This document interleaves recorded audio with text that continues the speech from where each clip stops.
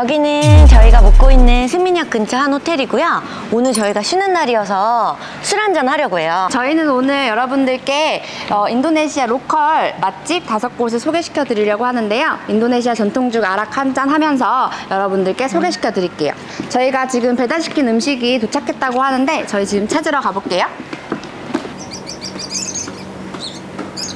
한국. 어, 한국말 잘하시네요. 어, 옛날에 밴드미존에 아, 이래. 미- 아, 한국 가이드예요. 아, 아, 한국 가이드. 어디 있었어요? 어? 어디 있었어요? 하나 투어. 여기, 말리에요. 어, 아, 말리 가이드. 하나 하나-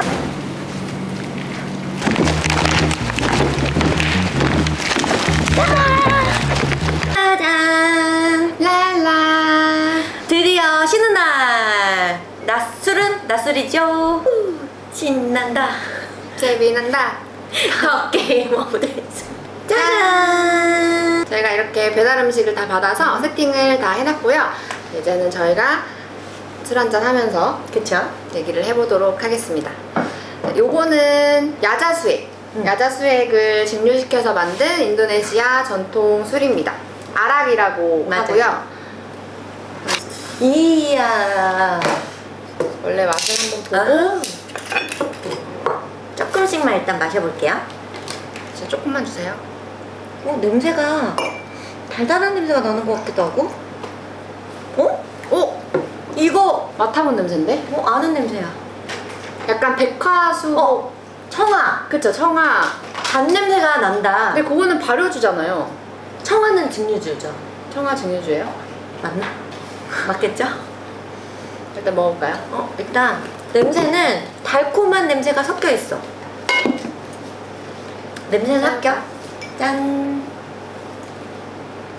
보드카 같기도 하고. 약간 아, 독해.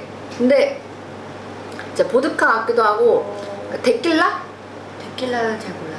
아 그래 데킬라를 제가 좋아하는데 데킬라 맛이 나요. 저는 약간 보드카인데 단맛이 좀 있는? 원액으로 먹어도 어, 괜찮은 것? 같아요. 독하긴 한데 맛있어요. 한 좀 먹어볼까요? 기분이 좋아지네요. 저희가 오늘은 저희가 오늘 소개시켜드릴 발리 로컬 맛집 다섯 곳에서 저희가 좋아하는 것들로만 준비를 했어요. 먹으면서 저희가 소개를 시켜드리도록 하겠습니다. 음, 맛있어. 와랑짠. 그래서 저희가 처음 소개시켜드릴 곳은 와룽짜야라는 곳인데 이제 와룽은 인도네시아어로 식당이라는 뜻이고 짜야는 빛, 뭐 광명 이런 뜻이래요. 그래서 그래서 와룽짜야는 일단 르기안 쪽에 위치하고 있는 식당이고요. 실내는 뭐 크지는 않지만 여기 실내 부분이랑 뒤쪽에 야외 부분까지 있어서 되게 좀 넓은 좌석을 보유를 하고 있긴 해요. 주차 같은 경우는 요원분들이 계셔가지고 주차를 다 이제 안내해 주시고 도움을 주시기 때문에 큰 어려움은 없었던 것 같아요. 와룽짜야는 진짜 제가 발리에서 제일 좋아하는 식당이고요. 이 산말마타가 정말 맛있어요. 그래서 한국에 가면 진짜 이 생각이 너무 나요. 그만큼 진짜 제가 너무 좋아하는 음식이고 여기를 이제 3년 연속으로 방문해 봤지만 코로나 시국에도 여기는 항상 사람이 많아요. 현지인들도 좋아하는 맛집이라 여기가 인기가 있는 만큼 일찍 재료가 소진돼서 4시면 문을 닫죠. 맞아요. 일찍 닫아요. 그래서 드시고 싶으신 분들은 항상 점심시간을 이용하시면 좋을 것 같아요. 저는 워낙 고기를 좋아하고 또 그 와중에 음. 돼지를 되게 좋아하기 때문에 항상 바비 산발마타를 음. 시키는데 완전히 이거는 잘 구웠고 약간 튀기듯이 구웠는데 씹으면 씹을수록 고소하고 막 턱이 아플 정도 그렇게 바짝 튀긴 것도 아니면서 되게 맛있었고 이거를 한국에서 흉내를 내보려고 했다가 실패를 번번이 실패만 했었죠. 그래서 이 산발마타와 이 돼지의 궁합이 엄청 잘 어울리고 이 특히 이 산발마타가 진짜 미쳤죠. 진짜 이게 샬롯이랑 고추랑 뭐 인도네시아 약간 조미료 젓가, 같은. 소스 같은 게 들어가는 네. 것 같아요. 근데 요게 식당마다 맛이 다 달라요. 정말 조화가 너무 좋아요. 불호가 없는? 그 돼지고기 드실 때 김치 땡겨 하시는 분들 있잖아요. 얘는 전혀 김치 맞아. 생각이 안 나요. 이게 진짜 밥 한 숟갈 딱 숟가락에 얹고 고기 진짜 딱 하나 얹고 산발마타 얹고 이제 매운 거 싫어하시는 분들은 거기에 이제 오믈렛 오믈렛을 팔아요. 오믈렛 하나 딱 넣고 한 입에 싹 넣으면 너무 맛있어요. 비계가 정말 쫀득쫀득해요. 한 번도 못 가신 분은 있어도 한 번만 가신 분은 없을 거예요. 절대 없다. 한국 돈으로 4,000원 조금 넘는 정도라고 생각하시면 될 것 같아요. 여기까지 마롱차였습니다. 이번에는 섞어 먹어볼까요? 사과 주스랑 섞어 먹- 먹어볼게요. 그럼 저는 오렌지 주스. 짠! 저는 사과 주스랑 섞었고, 저는 오렌지 주스. 음, 오! 오렌지 주스 어때요? 완전 맛있어요. 완전 내 사과 스타일. 주스랑도 되게 잘 어울리는 것 같아요. 그건 좀 달 것 같아. 네, 음. 좀 달아요. 오렌지 주스랑 섞어 마시니까 진짜 보드카 마시는 것 같다. 어? 음, 아, 두 번째 저희가 소개해드릴 곳은 와룽 린짝입니다. 여기는 저희가 스미냐께 저희가 머물고 있는데 짱구 가는 길에 들렀던 곳이에요. 아마 그 사이쯤인 것 같아요. 간판에 이깐 바까르라고 써있어요. 이깐이 생선이고 바까르가 구이거든요. 그러니까 우리나라로 치면 그냥 생선구이집 해산물 가게예요. 그래서 여기 가시면 이제 해산물 다양한 해산물 종류를 맛보실 수 있고 일단 주차장은 넓어요. 음, 주자 넓었어요. 주차장은 넓고 여기는 거의 실외죠. 네, 완전 그냥 실외. 그래서 저희가 일부러 사람이 없는 시간을 노려서 한 낮에 갔는데 나름 원피스도 입고 화장도 하고 갔거든요.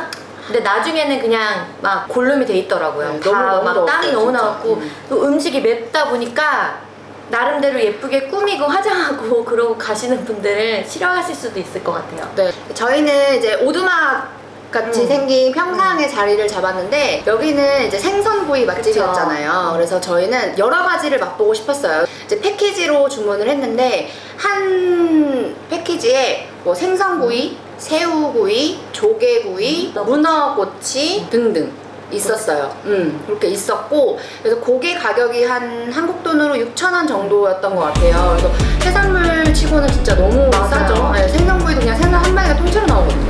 크진 않지만 음.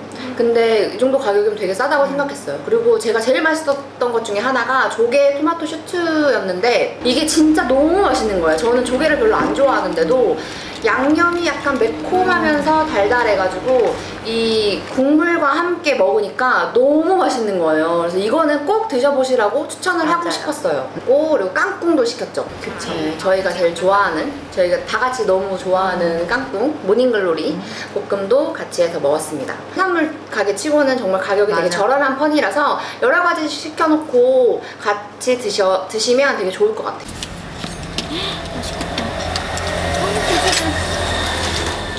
바빴었어야 되는데.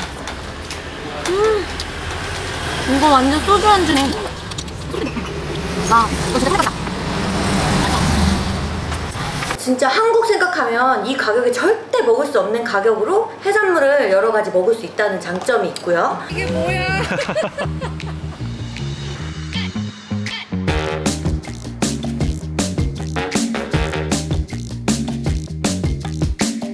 여기 같은 경우에는 이제 생선구이 뭐 여러 가지 구이가 있는데 양념은 다 베이스는 똑같아요. 그 양념이 약간 뭐라고 해야 되지? 떡볶이 양념 같기도 하고 네, 약간 고추장 베이스 같은 음. 느낌이, 느낌의, 네. 음. 한국인들한테 익숙한 맛이에요. 음. 그래서 거부감은 없을 것 같아요. 매콤함이 딱 술을 땡기는 그런 맛이에요. 이게 요거 같은 경우는 맵기가 조절이 가능하거든요. 그래서 시키실 때 맵기 조절하시면 될 것 같아요. 여기까지 여기까지 린짝이었습니다. 자, 저는 이번에는 맥주와 섞였어요. 이게 진짜 인도네시아 여행 와보신 분들 이거 빈땅 진짜 다 아실 거예요. 빈땅 너무 맛있는데 그 중에서 이거 Radler라고 레몬 레몬 맥주거든요. 얘는 알코올이 거의 없죠? 이건 진짜 술 못 드시는 분들도 음. 드시기 너무 좋아요. 저는 이거랑 섞어 먹어보겠습니다. 저도 이번에 레몬이랑 같이 섞어 먹어볼게요. 그만큼? 그만해? 그만. 있는 얘기야. 이거는 딱 먹기 전에 조개 하나 들어야 된다. 저는 그럼 이건 진짜 조개 하나 딱 들고 짠! 세 번째 소개해드릴 곳은 Warung Special Sambal SS라는 곳인데요. 이름에서도 알 수 있듯이 여기가 sambal 전문점인 것 같아요. 진짜 그만큼 sambal 종류가 수십 가지가 되고 진짜 많았어요. 가격도 200원부터 1000원대까지 정말 다양한 sambal 종류가 있어요. 이제 지점이 한 세 군데 있는 것 같더라고요. 그래서 가시고 싶으신 분들은 검색하셔서 숙소와 가까, 가까운 곳에 가시면 될 것 같고요. 일단 여기 산말 종류도 진짜 엄청 많았고 이 메뉴판을 보고 저희가 직접 체크해서 주문하는 식인데 여기가 진짜 한 가지 아쉬운 점이 다 인도네시아어로만 돼 있어요. 아, 맞아요. 음. 그 저희도 뭐 인도네시아어를 많이 아는 게 아니라서 단어를 막 검색해 보기도 하고 Apa yang paling pedas ya? Paling pedas sambal Ya, bawang, paling pedas ya. sambal bawang. Sambal bawang. Iya. 어, 어, bisa 영어를 조금 하시는 분들한테 뭐 이거 spicy냐 안 spicy냐 뭐 이거 어떻냐 뭐 이거 유명하냐 많이 나가는 게 뭐냐 이러면서 한 물어 물어서 sambal을 한 다섯 가지 정도를 네. 시켰어요. 뭐 매운 거 세 개랑 안 매운 거 두 개랑 해가지고 다섯 가지를 시키고 나머지 이제 메인 메뉴 같은 경우도 뭐 오리랑 네. 닭이랑 소고기 네. bebek이 오리, sapi가 소, 그리고 아야미 닭 그렇게 하셔서 고르시면 될 것 같고요. 근데 이게 산발도 그렇고 메인 메뉴도 가격이 되게 저렴하거든요. 음. 뭐 산발 같은 경우는 뭐 진짜 200원대부터 1000원대까지 맞아요. 있고 고기 같은 것도 뭐 1,500원, 뭐 2,000원, 천 원에 이 정도 저부터요. 예, 소고기가 제일 비싼데 요게 2,000원. 2,000원 정도 하는데 양이 되게 작아요. 한, 한 요만한 접시에 좀 1인분 정도의 양이 나온다고 생각하시면 되거든요. 그래서 여러 명이 가시면 그냥 여러 개를 시키셔서 같이 맛보시는 것도 좋고 만약에 혼자 여행하시는 분이다 그러면 밥 하나랑 그러니까 자기가 먹고 싶은 거 여러 개를 골라도 이렇게 양이 이렇게 많지가 않아서 다 드실 수 있을 것 같아요. 근데 매운 산발은 진짜 조심하세요. 제가 진짜 그거 호기롭게 처음에 진짜 매운 걸 워낙 좋아해가지고 한 번 넣어서 먹다가 이제 어우 생각만 해도 전혀? 생각만 해도 지금 입에 침이 고이는데 콧구멍까지 아파요. 여기 코까지 아파가지고 저녁까지 진짜 명치가 쓰라릴 정도였어요. 진짜 매운 거 잘 물어보시고 선택하셔야 될 것 같아요. 고생을 했군요. 그리고 실내 같은 경우도 팬이 돌아가고 있긴 하지만 조금 덥기는 했어요. 그리고 또 매운 거를 먹다 보면 막 땀이 나잖아요. 여기 진짜 산발마타 요거 되게 맛있어요. 아까 저희가 와롱짜야 진짜 산발마타 맛있다고 했잖아요. 거기랑 거의 비슷한데 얘네는 양, 그 양파, 샬롯을 살짝 튀긴 상태에서 볶아, 볶은 것 같아요. 그래서 훨씬 더 감칠맛 있고 식감이. 더, 예, 아, 훨씬 더 안 맵고 또 매운 거 못 드시는 분들은 요게 더 괜찮을 것 같아요. 음. 저는 특히 소고기가 진짜 맛있더라고요. 약간 소갈비, 한국식 소갈비, 소 양념갈비를 먹는 음. 산적. 느낌이었어요. 예, 산적 느낌? 콜라랑 섞어 먹으니까 진짜 위스키 맛나. 자, 저희는 저희가 네 번째로 소개시켜드릴 곳은 바와보온이라는 곳인데요. 바보는 한국말로 직역하면 나무 밑이라는 뜻이죠. 나무 밑이라는 뜻인데, 그래서 가게를 딱 보시면 진짜 나무 밑에 있더라고요.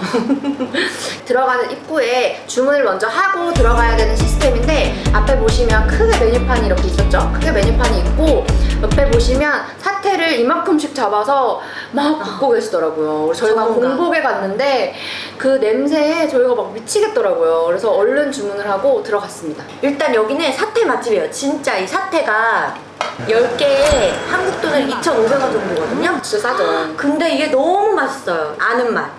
돼지갈비 맛. 맞아요. 진짜 돼지갈비, 맛이 나요. 맛이 에요. 진짜 냄새에서도 숯불 향이 그리고 여기가 의외의 또 맛집이죠. 이 사태 시키면 나오는 국물이 진짜 맛있어요. 따로 주문도 가능한데 그 여러분들 자주 드시는 그 소고기 진짜 묵국. 알죠? 그 소고기 묵국 맛이에요. 근데 조금 더 진하고 오래 끓인 맛이라고 해야 되나? 엄청 시원하고 맛있었어요. 해장하시는 분들한테 아, 너무 맞아요, 좋은 맞아요, 맛. 맞아요. 진열 때 이제 포장이 되어 있는 튀김 과자들이 되게 많더라고요. 여기 인도네시아 사람들은 식전에 그런 튀김 과자류들을 좀 많이 먹는 것 같더라고요. 근데 거기서 딱 눈에 띄는 게 하나 있었는데 누가 봐도 이거는 닭껍질 튀김이다 라고 생긴 게 있었어요. 그게 이름이 뭐라고 했었죠? 그. 품절대란 났던 딱 그 맛인 거예요. 닭껍질 튀김. 그래서 살짝 매콤하면서 바삭하고 진짜 너무 맛있게 먹었어요. 고소하고. 네. 그래서 이거는 나중에 한국 돌아갈 때 선물용으로 사가도 되게 좀 좋아할 것 같아요, 사람들이. 맞아. 자, 바본도 꼭 한번 가보시길 바래요. 자, 저희가 다섯 번째로 소개해드려, 소개시켜드릴 곳은 빵말렌이라는 식당인데요. 이 빵이 아저씨를 높여서 부를 때 음? 약간 부르는 말이라고 해요. 빡 말렌. 그래서 말렌 아저씨네 집이거든요. 근데 이 아저씨네 집이 조금 유명 하더라고요. 현지인 분들도 되게 많이 찾는 그런 약간 한국식으로 따지면 기사식당 같은 그쵸. 네, 그런 곳이었던 것 같아요. 대르반에 위치하고 있어서 주차는 조금 어렵지만 요원 주차 요원분들이 계셔서 도움을 받으시면 주차하는 데는 크게 어려움은 없을 것 같아요. 그쵸? 묻고 따지지 네, 않고 몇 명이냐. 않고 일단 몇 명이냐 그래서 저희 띠가오랑 세 명이다라고 얘기를 했더니 그냥 바로 스페셜로 special babi guling으로 그냥 바로 내주셨어요. 속도가 거의 그냥 네, 한국 패스트푸드 저리 가라 할 정도로 그쵸. 금방 나왔죠. 주문하고 어 하는데 바로 나왔어요. 음, 여기는 babi guling 맛집인데요. babi guling이라는 게 이게 babi가 돼지고 guling이 돌리다는 뜻이에요. 그래서 어린 돼지 뱃속에 양념과 이런 걸 채우고 오랜 시간 돌려서 숯불에 구워내는 요리거든요. 그래서 그런지 이게 정성과 수창이 가미가 돼서 겉은 바삭하고 속은 촉촉한데 양념이 배어 있어서 잡내가 전혀 없는 겉바속촉의 정석이라고 할 수 있을 것 같아요. 네, 이게 겉에 끝 껍데기 부분이 얼마나 바삭하냐면 이거를 막 그냥 음. 소리가 날 정도로 그렇게 맞아. 바삭거리고 그 껍데기에 붙어있는 지방이라고 해야 되나요? 그 부분은 또 엄청 쫄깃쫄깃해요. 그래서 그 부분이 저는 제일 맛있었던 것 같아요. 산발마타 같은 거 곁들여져 있는 한 접시에 한국 돈으로 3,500원 정도. 굉장히 저렴한 편이었어요. 네, 40만 루피아에 한끼 해결이면 뭐 빵말에서는 음료 포함해서 한 끼 5천 원 정도면 혼자서 충분하게 한끼 해결할 수 있을 것 같아요. 충분하진 않은 것 같고요. 이게 양이 다른데 저 같은 경우는 항상 에즈라의 밥을 반 정도 뺏어 먹어요. 에즈라의 밥을 뺏어 먹는데 인도네시아 음식 자체가 그렇게 기본적으로 양이 그래서 저 같은 경우에는 밥이 항상 모자라서 에즈라 거를 뺏어 먹거든요. 남자분들 같은 경우에는 둘이 가시면 세 개 시키시는 걸 추천합니다. 여기까지 빵말렌이었습니다. 때문에 다시 여기서 올린다고? 다시 할게 다시 할게. 갑자기 여기서 다시 할게. 그러면 소개해드렸습니다. 할게. 다시. 다시. 자, 자 여기까지 저희가 로컬 맛집 다섯 곳을 소개해드렸고요. 저희가 지금 거주하는 곳이 스민약이라 일단 스민약 근처 맛집으로 선정을 해보았어요. 네, 인도네시아에는 맛있는 음식들이 너무 많잖아요. 그래서 저희도 맛집 탐방 계속될 예정이니까 지켜봐 주세요.